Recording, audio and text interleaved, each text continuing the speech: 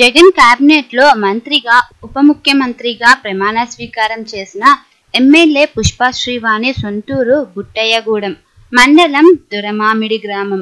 వరుసగా రెండోసారి వైసీపీ తరపున విజయాన్ని నమోదు చేసుకున్న ఈమె ఏకంగా మంత్రివర్గంలోనే చోటు సాధించింది. అంతేకాకుండా ఉప ముఖ్యమంత్రి పదవిని పొందింది. పోలవరం నియోజకవర్గంలో పుట్టి పెరిగిన మహిళకు మంత్రి పదవి వరించడంతో స్థానికుల్లో ఆనందోత్సాహాలు వెల్లువెత్తుతున్నాయి.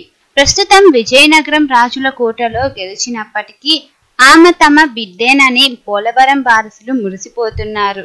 పెళ్ళయ్యే వరకు ఇక్కడే పుట్టి పెరిగిన పుష్ప శ్రీవాణి ఇప్పుడు మంత్రిగా ఎదగడం దొరమామిడి వారసులు ఆనందంతో ఉబ్బి తబ్బిబ్బవుతున్నారు. ఇక్కడే గిరిజన సంక్షేమ ఉన్నత పాఠశాలలో పదవ తరగతి వరకు చదువుకున్న ఈమె ఇంటర్ డిగ్రీలను జంగారెడ్డిగూడెం సూర్య కళాశాలలో పూర్తి చేశారు. పుష్ప శ్రీవాణి తండ్రి గిరిజన ఆశ్రమ పాఠశాలలో వంట మనిషిగా చేరి ఉపాధ్యాయుడిగా పదోన్నతి పొంది ప్రస్తుతం విశ్రాంత ఉద్యోగిగా ఉంటున్నారు.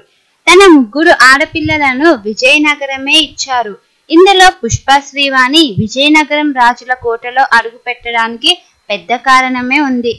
పెద్ద కుమార్తెకు విజయనగరం అబ్బాయితో పెళ్ళైంది అక్కడ ఇంటికి వెళ్తున్న పుష్ప శ్రీవాణి శత్రుశర్ల కుటుంబీకులకు కనిపించింది.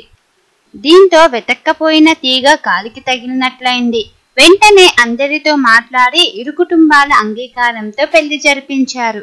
ఈమె అక్కా చెల్లెలు గృహిణులు తమ్ముడు హైదరాబాద్లో ఉద్యోగం చేస్తున్నారు. మరిన్ని ఇలాంటి అప్డేట్స్ కోసం మా ఛానల్ను తప్పకుండా సబ్స్క్రైబ్ చేసుకోండి. పక్కన కనిపించే బెల్ ఐకాన్ని యాక్టివేట్ చేసుకోండి. వెంటనే మేము అప్లోడ్ చేసే వీడియోస్ మీ మొబైల్లోకి వచ్చి చేరుతాయి. చూసి ఆనందించండి.